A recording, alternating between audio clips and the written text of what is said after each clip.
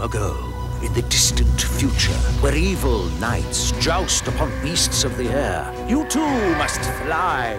Joust and retrieve the enemy's egg before it hatches, and beware the lava below. You can experience this world from the other side. It's called Joust, the arcade game, home now only from Atari. A video game, hardly. Joust. You don't play it, you live it.